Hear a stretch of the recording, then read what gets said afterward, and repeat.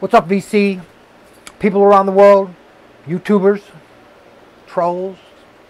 This is Bobby who's spitting the truth about records. Haven't made a video in a while, been busy.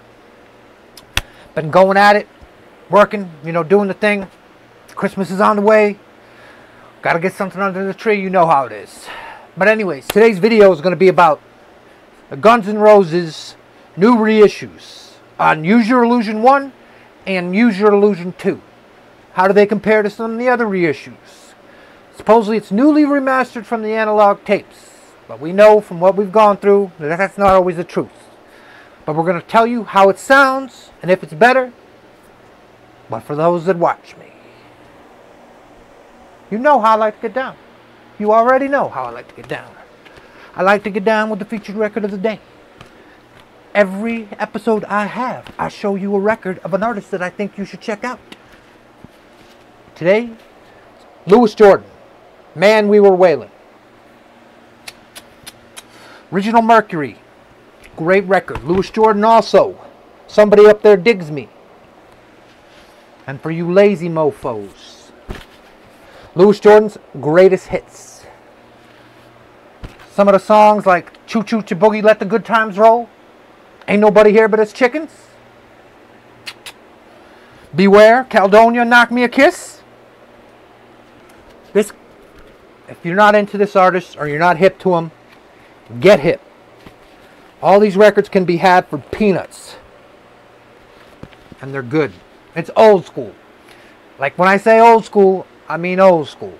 Like 20s to 30s to 40s. Some 50s. But I think some of these, most of these were put out in the 50s. This guy is a phenomenal horn player that talks a bunch of shit too. Great. Louis Jordan, classic. Check it out. Now on to the Guns N' the Roses, newly remastered from the original analog tapes. For the first time. They say for the first time. Here's my other pressing of Use Your Illusion. Now the other one of Use Your Illusion is a non-gatefold. You just get that, that. This is the newest one. Now when you get this new one, you get a gatefold. You open it up, you get that. That's cool. Decent sleeve. You get two polylined inner sleeves. You get a weird label. Here, I'll show you. This is a different label than the rest of the Guns N' Roses.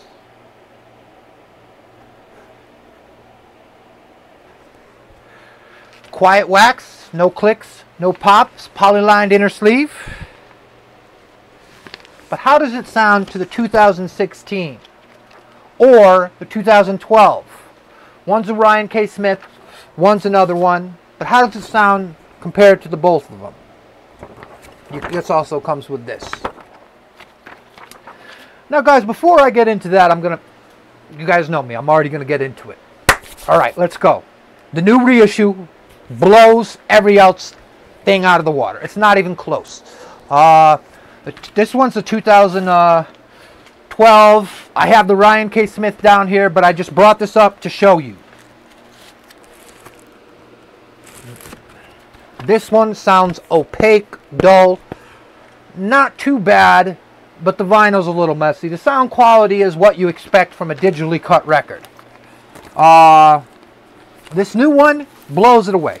Sounds clearer. Everything is good on it. Uh, Guns N' Roses sounds like it's supposed to. Slash wailing out on his guitar, clear highs. Now, is it all analog? Don't know. Do I care? I would like to have it all analog, but this one sounds beautiful, and I'm happy as hell to have a good sounding copy of Use Your Illusion. This one, compared to the CD, I also have the CD.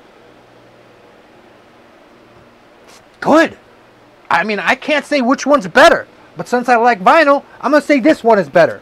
This new reissue is the best Guns, Guns N' Roses Use Your Illusion 1. I'm going to head to the store and get Use Your Illusion 2, the blue one. I already have uh, the 2016 RKS uh, version and the 2012 Use Your Illusion. But I'm going to get the new one because I wanted to see how this first one sounded, how it compared to the other ones. And I'm telling you, it's no contest. For $39.99, why not get the best sounding copy of Use Your Illusion 1 and 2? Now, I pay for all my records. None of my stuff is sponsored at all. This is the one to get. It's in print now. Why not pick it up? You get a cooler label. It's different. The sound is clear. It just jumps out of the speakers. The vinyl is quiet. It's what you want from a reissue. And digital or analog, if it sounds good, doesn't matter. I'm not going to be one of those audiophiles that tells you anti-digital. Yes, would I prefer it analog? Yes, I would. By the way, I don't like MoFis. Just to let everybody know I hate MoFis. And most audiophile LPs suck.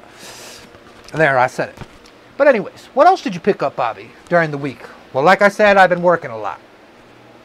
So, you know, I grabbed wherever I could find.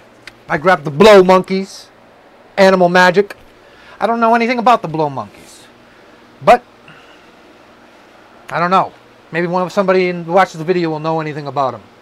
The dude had blue eyes and it said Animal Magic and it sounded like an 80s synth pop thing from what I read about it. So, why not? Also picked up Alice Cooper's Greatest Hits. Now, for those that know, uh, Friday Music just released uh, Alice Cooper's greatest hits. So everybody's dumping off their uh, originals of the greatest hits of Alice Cooper. So I picked this one up, near mint copy, for like five bucks. Why the heck not? Also, because Christmas time is coming, I picked up a copy, a German pressing of uh, Duke Ellington's Nutcracker off the Philips label. And also, I'm a Nutcracker nut. Yes, I am. Every Nutcracker copy of all these things, I try to, you know, grab and see which one's the best. So, you know, every time I see a Nutcracker, I grab it. Every time I see a Nutcracker Suite, I grab it. 2LP from London, I grab it. This Nutcracker from Boston, the Chicago Nutcracker,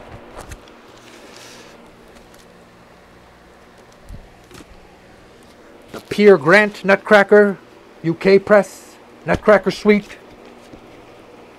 the Nutcracker, box set Philips, the Nutcracker, and the Nutcracker.